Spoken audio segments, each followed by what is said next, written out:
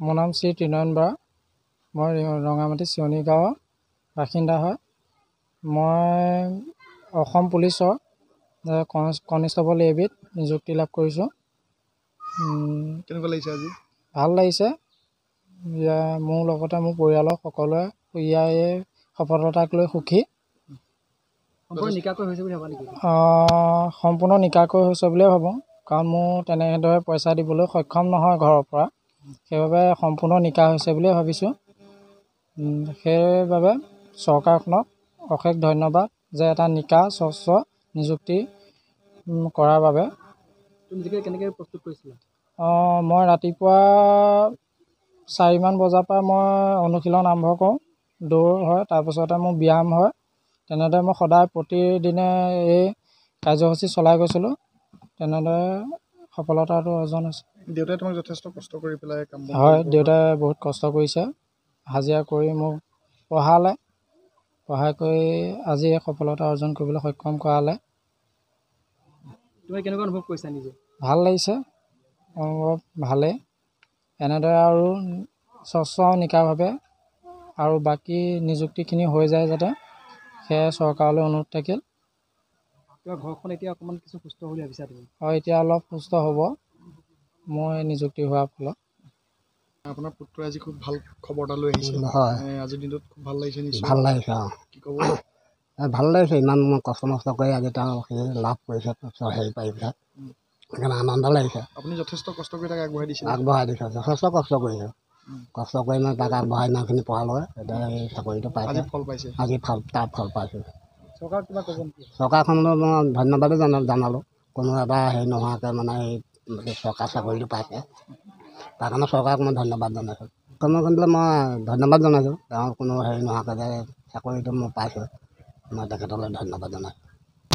হয় বাদলিপাৰা অঞ্চলৰ ৰঙামাটি চেউনি গাঁৱৰ অত্যন্ত দৰিদ্ৰ পৰিয়ালৰ অতি অমায়িক মেধাৱী ছাত্ৰ আমাৰ ত্ৰিনয়ন বৰাই আজি অসম আৰক্ষী কনিষ্টবল এ বি পদত তেখেতে নিযুক্তি লাভ কৰিবলৈ সক্ষম হৈছে। তেখেতৰ এই সফলতাত আমি বাদলিপাৰা আঞ্চলিক ছাত্ৰ সন্থাই তেখেতক শুভেচ্ছা অভিনন্দন জ্ঞাপন কৰিছোঁ। আৰু তেখেতৰ অনাগত দিন যাতে সুখময় হৈ মধুময় হয় আমি ভগৱন্তৰ শ্ৰীচৰণত আমি প্ৰাৰ্থনা জনাইছোঁ। কিয়নো তেখেতৰ পিতৃ মাতৃয়ে যথেষ্ট ত্যাগ কষ্ট স্বীকাৰ কৰি তেখেতক আজি এই সফলতাৰ এই প্ৰথম জখলাডাল বগাবলৈ সক্ষম কৰি তুলিলে। আমি তেওঁলোকৰ পিতৃ মাতৃকো আমি তেখেতৰ পিতৃ মাতৃ চৰণত আমি তেখেতৰ উজ্জ্বল ভৱিষ্যত কামনা কৰিছোঁ। আৰু আমিও আশীৰ্বাদ বিচাৰিছোঁ তেখেতৰ পিতৃ মাতৃৰ পৰা যাতে আহি পাঠি আহি থাকিবলগীয়া দিনসমূহত আমি জাতীয় জীৱনৰ সমস্যাবিলাক লৈ যাওঁতে মোৰ নাম শ্ৰী ত্ৰিনয়ন বৰা মই ৰঙামাটি চিয়নি গাঁৱৰ বাসিন্দা হয়।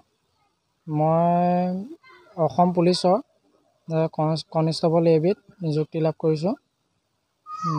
কেনেকুৱা লাগিছে আজি? ভাল লাগিছে। মোৰ লগতে মোৰ পৰিয়ালৰ সকলোৱে ইয়াৰ এই সফলতাক লৈ সুখী। সম্পূৰ্ণ নিকাকৈ হৈছে বুলিয়ে ভাবোঁ।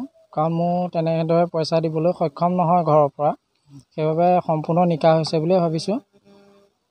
সেইবাবে চৰকাৰখনক অশেষ ধন্যবাদ যে এটা নিকা স্বচ্ছ নিযুক্তি কৰাৰ বাবে। কেনেকৈ প্ৰস্তুত কৰিছিলা? অঁ, মই ৰাতিপুৱা চাৰিমান বজাৰ পৰা মই অনুশীলন আৰম্ভ কৰোঁ। দৌৰ হয় তাৰপিছতে মোৰ ব্যায়াম হয়। তেনেদৰে মই সদায় প্ৰতিদিনে এই কাৰ্যসূচী চলাই গৈছিলোঁ। তেনেদৰে সফলতাটো অৰ্জন হৈছে দেউতাই তোমাক যথেষ্ট কষ্ট কৰি পেলাই কাম হয় দেউতাই বহুত কষ্ট কৰিছে। হাজিৰা কৰি মোক পঢ়ালে। পঢ়াই কৰি আজি এই সফলতা অৰ্জন কৰিবলৈ সক্ষম কৰালে। তুমি কেনেকুৱা অনুভৱ কৰিছা নিজে? ভাল লাগিছে। অনুভৱ ভালেই। এনেদৰে আৰু স্বচ্ছ নিকাভাৱে আৰু বাকী নিযুক্তিখিনি হৈ যায় যাতে সেয়াই চৰকাৰলৈ অনুৰোধ থাকিল। তোমাৰ ঘৰখন এতিয়া অকণমান কিছু সুস্থ বুলি ভাবিছা তুমি? হয় এতিয়া অলপ সুস্থ হ'ব। মই নিযুক্তি হোৱাৰ ফলত। আপোনাৰ পুত্ৰই আজি খুব ভাল খবৰ এটা লৈ আহিছে। হয়। এ, আজিৰ দিনটোত খুব ভাল লাগিছে নিশ্চয়। ভাল লাগিছে অঁ। কি ক'ব? ভাল লাগিছে। ইমান কষ্ট মষ্ট কৰি আজি তেওঁ সেই লাভ কৰিছে হেৰি পেলাই সেইকাৰণে আনন্দ লাগিছে। আপুনি যথেষ্ট কষ্ট কৰি তাক আগবঢ়াই দিছে। আগবঢ়াই দিছে যথেষ্ট কষ্ট কৰিছে। কষ্ট কৰি মই তাক আগবঢ়াই ইমানখিনি পঢ়ালোঁ। এতিয়া এই চাকৰিটো আজি পাইছে ফল পাইছে। আজি ফল তাৰ ফল পাইছোঁ। চৰকাৰখনলৈ মই ধন্যবাদো জনা জনালোঁ। কোনো এটা হেৰি নোহোৱাকৈ মানে এই চৰকাৰ চাকৰিটো পাইছে। তাৰ কাৰণে চৰকাৰক মই ধন্যবাদ জনাইছোঁ। কৰ্মখণ্ডলৈ মই ধন্যবাদ জনাইছোঁ। তেওঁৰ কোনো হেৰি নোহোৱাকৈ যে চাকৰিটো মই পাইছোঁ। মই তেখেতলৈ ধন্যবাদ জনাইছোঁ। হয় বাদলিপৰা অঞ্চলৰ ৰঙামাটি চেউনি গাঁৱৰ অত্যন্ত দৰিদ্ৰ পৰিয়ালৰ অতি অমায়িক মেধাৱী ছাত্ৰ আমাৰ ত্ৰিনয়ন বৰাই আজি অসম আৰক্ষী কনিষ্টবল এই বিপদত তেখেতে নিযুক্তি লাভ কৰিবলৈ সক্ষম হৈছে। তেখেতৰ এই সফলতাত আমি বাদলিপৰা আঞ্চলিক ছাত্ৰ সন্থাই তেখেতক শুভেচ্ছা অভিনন্দন জ্ঞাপন কৰিছোঁ আৰু তেখেতৰ অনাগত দিন যাতে সুখময় হৈ মধুময় হয় আমি ভগৱন্তৰ শ্ৰীচৰণত আমি প্ৰাৰ্থনা জনাইছোঁ। কিয়নো তেখেতৰ পিতৃ মাতৃয়ে যথেষ্ট ত্যাগ কষ্ট স্বীকাৰ কৰি তেখেতক আজি এই সফলতাৰ এই প্ৰথম জখলাডাল বগাবলৈ সক্ষম কৰি তুলিলে। আমি তেওঁলোকৰ পিতৃ মাতৃকেও আমি তেখেতৰ পিতৃ মাতৃ চৰণত আমি তেখেতৰ উজ্জ্বল ভৱিষ্যত কামনা কৰিছোঁ। আৰু আমিও আশীৰ্বাদ বিচাৰিছোঁ তেখেতৰ পিতৃ মাতৃৰ পৰা। যাতে আহিব আহি থাকিবলগীয়া দিনসমূহত আমি জাতীয় জীৱনৰ সমস্যাবিলাক লৈ যাওঁতে